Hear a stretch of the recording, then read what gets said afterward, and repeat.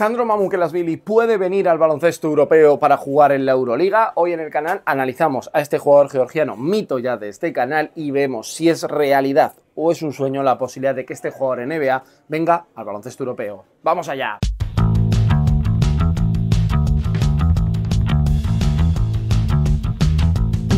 Muy buenas, bienvenidos a mi canal Hablemos de Básquet, hablemos del mercado y en este caso para hacer un uno contra uno y hablar de uno de mis jugadores favoritos, Sandro Mamukelasvili. Hay gente que ya va a poner en comentarios, le va a hacer gracia, probablemente con Cordini está empezando a ser uno de los jugadores de los que más hablo en el canal y es que hoy vamos a analizar a este georgiano que en las últimas horas hemos sabido que San Antonio Spurs prescinde de sus servicios, que no quiere tener sus derechos, con lo cual ahora mismo es agente libre en el mercado, es decir, se puede quedar en NBA y puede venir a Europa.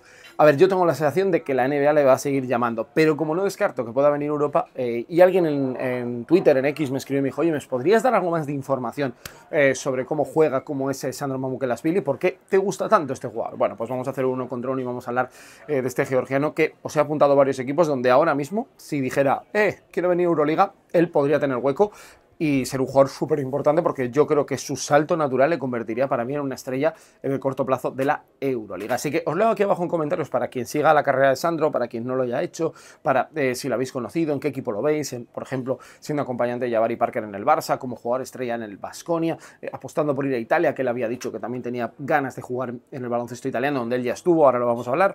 Bueno, todo eso lo comentamos y lo analizamos aquí en el canal y además si te suscribes haces que este proyecto siga adelante. Bueno, Sandro Mamukelasvili es un jugador nacido en Estados Unidos. Es un jugador nacido en Nueva York, pero que de muy jovencito se marchó a Tiflis, a Georgia, con su familia. Tiene un vínculo muy importante con el baloncesto. Él tiene 25 años, por cierto, los cumplió el pasado mes de, mayo. Y bueno, como ídolo siempre tuvo a Zaza Pachulia. Claro, tenéis que entender que el baloncesto georgiano eh, ha tenido como gran referente a Zaza, que ha hecho carrera en NBA, ha sido jugador NBA importante, aunque realmente nos hayamos quedado con lo del pisotón de Kawhi Leona, con que es un jugador muy tosco, con que repartía mucho. Pero bueno, la realidad es que en algunas cosas eh, lo de ser muy bruto al jugar de jugar también se le ha quedado un poco a Sandro Mamukelasvili esa eh, situación. Jugador de 2-0-6 y que le hemos visto tanto con la selección de Georgia jugar en el exterior y yo creo que su posición natural, lo iremos comentando, es que ocupe posiciones de, de ala eh, pivot. Bueno, su carrera tiene además un vínculo muy importante con el baloncesto y es que su abuela, esto estaba investigando y no, lo sabía, su abuela fue capitana de la selección de baloncesto de la URSS, de la Unión Soviética, con lo cual el, básquet lo tiene muy arraigado, lo tiene de sangre y esto eh, también es eh, llamativo. Él empezó a jugar allí en, Georgia en 2013.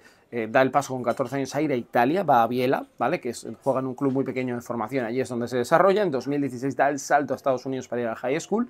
Y de 2017 a 2021 COVID incluido, está en Seton Hall, una universidad en la que ha habido varios jugadores importantes. Aquí en Europa, eh, supongo para que la gente lo recuerde, Ángel Delgado, por ejemplo, estuvo ahí en Seton Hall.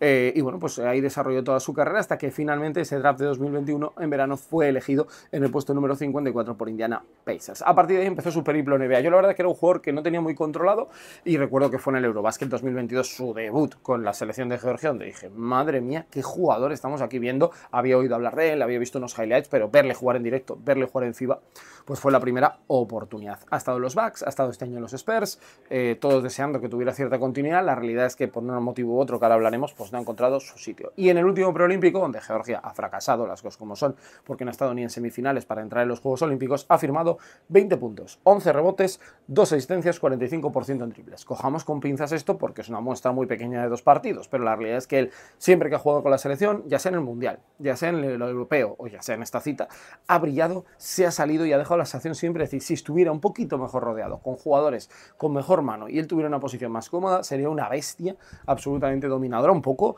no voy a decir como marcan en Finlandia, pero muy, muy dominador. Y es que la realidad de, de Sandro Mamukelasvili, primero es llamativa, no es la posición que debería ocupar en el campo. Ya sabemos que en NBA es muy diferente el tema de posiciones del 5, del 4, del 3 y tal, eh, pero realmente sería por roles. Pero aquí en Europa, en caso de que decidiera aterrizar en el baloncesto europeo, yo creo que el gran debate que existiría es, eh, para mí no es un alero, por mucho que con Georgia le hemos visto jugar de alero, hasta le hemos visto jugar de dos, porque es que todos eran, uno era muy malo por fuera y tenía que ocupar esas posiciones, y estando con Joshua Armadini, con Goga Pitache, con Toko Sengelia, pues tenían que eh, hacerse hueco en la cancha como, como fuese, pero yo creo que su posición natural es un 4. Podría actuar de 5, porque físicamente es descomunal. Este jugador es un 2-0-6 muy fuerte, muy duro al aro, muy duro reboteando, necesita hacer muchos mates en rebote ofensivo, bueno, jugador tremendo pero yo creo que su posición natural sería 4. Eh, destacaría sobre todo, para mí, eh, creo que es el hecho diferencial respecto a otros cuadros que hay en Europa, buenísimos, ¿eh? Nicolás Mirotic, eh, Sasa Besenkov se acaba viniendo, Toko Senguera, su compañero, su compatriota, eh, también es otro grandísimo jugador, bueno, nombres importantes, este es un jugador más bruto en lo físico, más exuberante, más llamativo. Es un jugador que machaca con tráfico, es un jugador que puede jugar por encima del aro, que hace segundos esfuerzos con mucha facilidad. A mí en ese sentido eh, me apasiona y creo que su lectura del juego en baloncesto FIBA, que de momento lo que le hemos visto es bastante bueno, sin haber sido súper entrenado, la realidad, ¿no? Porque él ha estado en Seton Hall y NBA, pero no ha tenido formación FIBA. Creo que es muy interesante y esas condiciones físicas además le permiten, bueno, pues ser un jugador dominante a poco que vaya cogiendo el ritmo de, de competición. Para mí su gran duda y probablemente su caballo de batalla por el cual eh, no, consiga un sitio con cierta asiduidad en NBA, bueno, primero es que físicamente, como él hay muchos más en Estados Unidos, eso es evidente, ¿no? Con unas condiciones más atléticas, es que él no ha acabado de evolucionar en el triple. Os he dicho lo del 45% y algunos ya, que estamos creo más o menos al ecuador del vídeo, que ahora llega a este punto, solo se ha quedado con lo del inicio. El que esté dice, oh, es que tira muy bien. No, no, no, no es un tirador.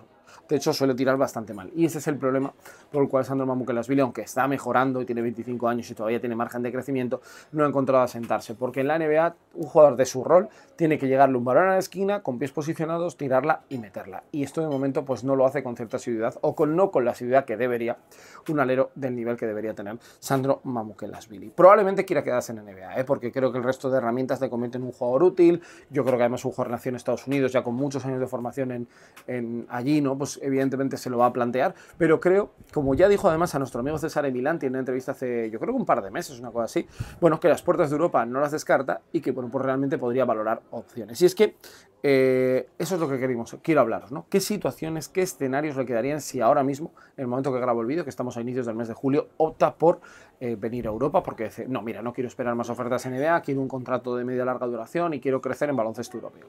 Bueno, la realidad es que él dijo en aquella entrevista con César eh, que Milán le llamaba mucho la atención. Entiendo que haber eh, criado deportivamente y haber crecido en Biela pues le da un poco ese control del idioma. Dijo que Italia le gustaba, ahí estaría Virtus Bolonia también, pero entiendo que económicamente es complicado que Virtus pueda optar a un jugador así, sobre todo con las situaciones presupuestarias que ha habido, pero Milán, que le encantan los cuatro por lo que sea, podría optar a su incorporación y yo lo meto más porque la expresado ese deseo y no tanto porque realmente lo necesite, porque con Nicola Mirotic, con eh, Zachary Day, ahora ha habido la salida de Nicolo Meli, pero sigue teniendo a Savon Seals. Eh, bueno, tiene una posición de 3-4 súper completa donde realmente pues no parece que haya demasiado eh, espacio. Pero a partir de aquí yo planteo tres escenarios, dos de Liga CB y uno de Euroliga, donde yo creo que lo haría de maravilla.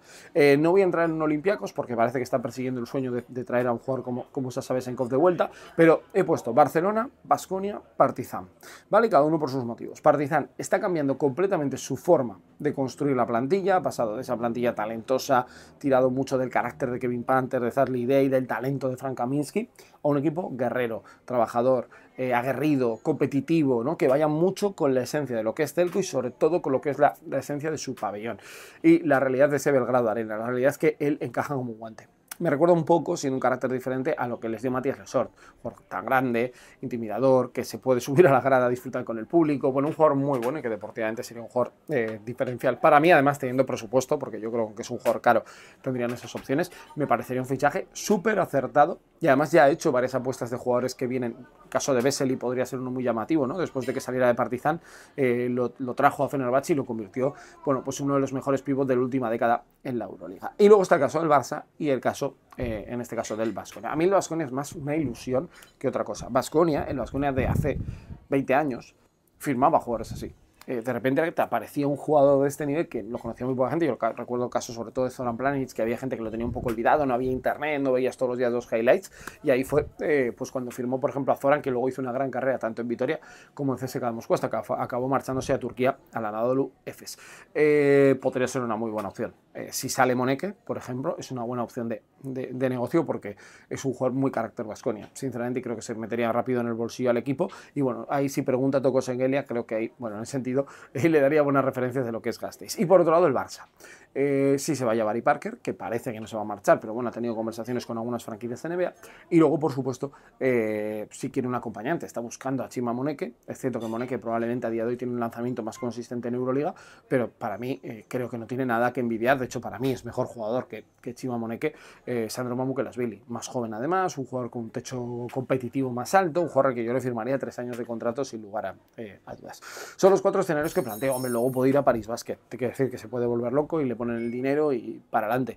Eh, podría ir a un Panathinaikos para competir con Mitoglu y Juancho, pero la realidad es que yo le veo en escenarios donde yo lo colocaría de titular, porque creo que si él viene a Europa, sería para mí top 5 a la pivos de la competición prácticamente entrando por la puerta. Veremos qué pasa con él, pero bueno, yo quería traeros esta análisis aquí al porque había gente que me la ha pedido, creo que Sandro Mamukelashvili es un jugador que yo insisto, creo que se va a quedar en la NBA, pero que de aquí a dos, tres años el camino le lleva a venir a Europa. Y oye, si viene a Europa, yo ya lo puse ayer en Twitter, ¿no? Con el mini yo, ¿no? El, la serie esta de Austin Powers que le hacía, ven aquí, ¿no? Ven aquí, porque yo tengo muchas ganas de disfrutarlo en el viejo continente. Así que nos vemos en el próximo vídeo y seguimos hablando aquí de básquet y el mercado de fichajes. Hasta luego, adiós.